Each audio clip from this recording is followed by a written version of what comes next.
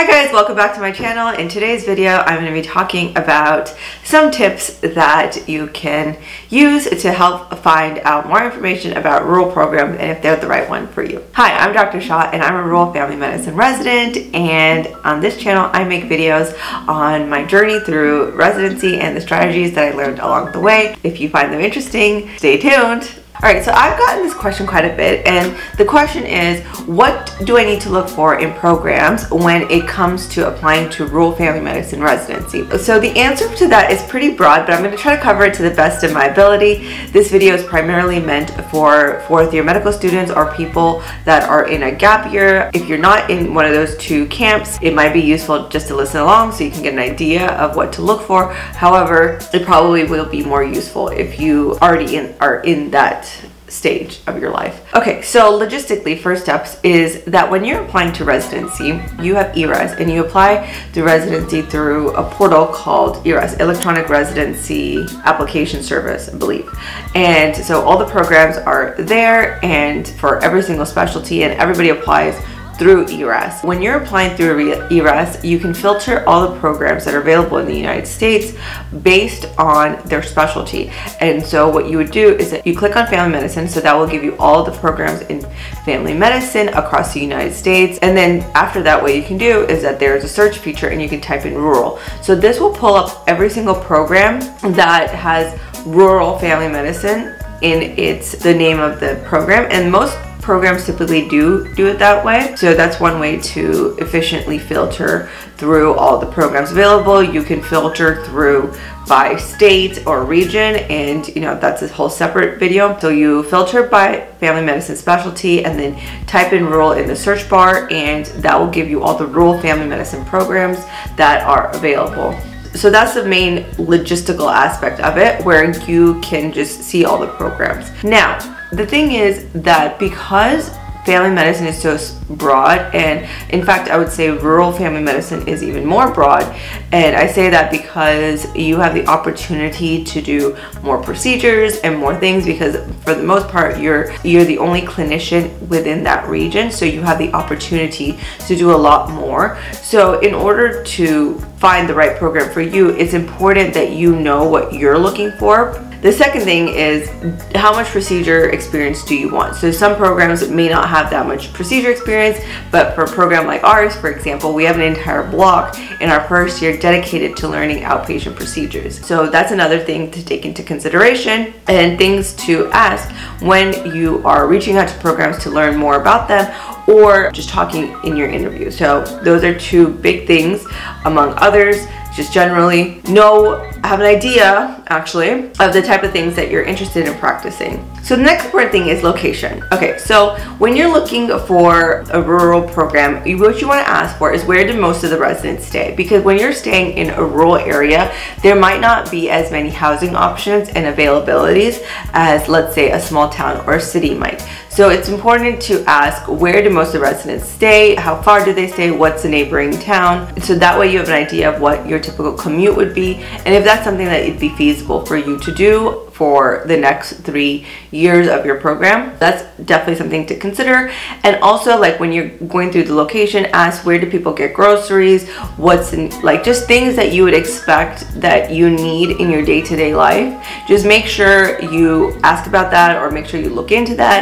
And you know, I would highly, highly not recommend, I would highly recommend, actually, I would highly recommend that you do not ask programs hey, do you have a Starbucks or do you have a Publix? Okay, honestly, it's literally terrible. Like, don't ask programs that. Don't ask, in general, side note, in general, do not ask programs things that can be easily Googled or easily looked up because it just looks really bad. And it looks like you did not put enough effort in. So, you know, the things that I'm telling you, don't go and ask programs about that, but you can ask them about housing, but when it comes to like food and like coffee and you know whatever other stuff that you can't find by Googling a simple Google search, then you can ask them that. So there's that. The next thing that you want to look for is ask what do the residents um, do. The, the reason I say this is because some programs may not have the resources to have all the ancillary staff to do things that are typically done by let's say a nurse or a medical assistant or a case manager. So you know, or phlebotomy teams. Some places have it, some places don't. So just ask what residents are expected to do. Are you expected to do your own blood draws? Like, what exactly do they do? Or do they focus primarily on the doctor aspect of it? Also, the other thing is to look for and to ask is like, does the program offer house calls for the surrounding region?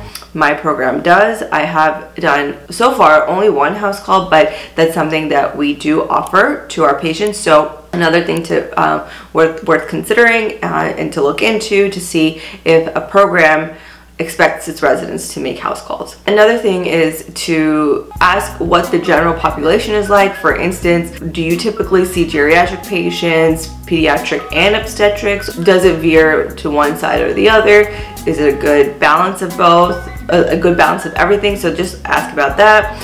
And ask what degree of involvement residents are typically have within the community. And the reason I say that is because if you if residents typically have a lot of community involvement and they're involved in a lot of activities in that area, you it will really factor into your decision about where to live and that goes back to my location point. So these are things that are important and worth considering. And then this next part is these are some general things to look for. I'll make a whole other video on what to ask programs um, as it becomes pertinent.